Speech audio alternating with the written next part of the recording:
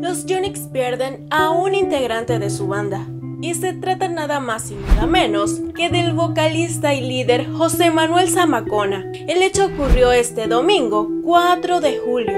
Además, José Manuel llevaba casi un mes hospitalizado debido al padecimiento mundial que estamos viviendo desde el pasado año. Comentan que en los últimos días él iba mejorando, hasta los médicos comentan de su pronta recuperación que hasta quizás la podían ver dentro de seis meses o más.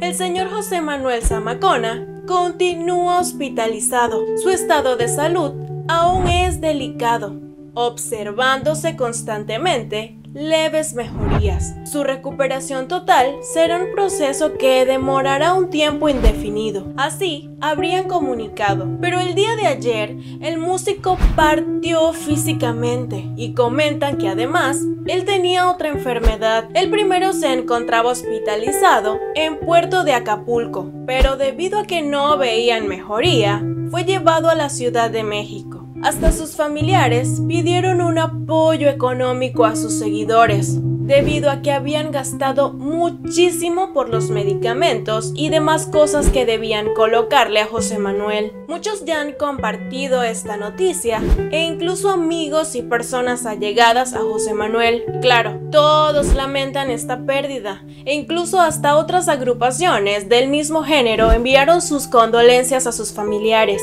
Fue a finales de mayo que su familia habría comentado a través de un comunicado cómo se encontraba José Manuel, informamos que el señor se encuentra hospitalizado y bajo supervisión médica. Agradecemos sus oraciones y las muestras de cariño y acompañamiento. Hasta su hijo habría comentado a través de sus redes sociales que todos se unieran en oración por su papá y por la recuperación de uno de sus pulmones. Él había sido otra de las personas que había accedido a inmunizarse contra esta enfermedad hasta lo hizo notorio para darlo a conocer a sus seguidores y le daba gracias a Dios porque le había permitido llegar hasta ese momento.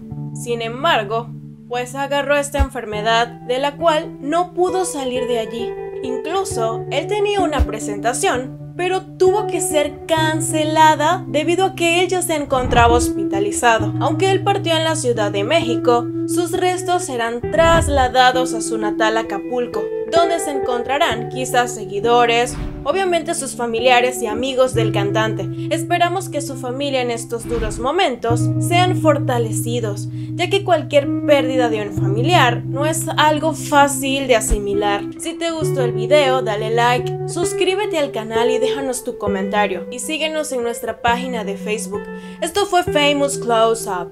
Nos vemos en el próximo video.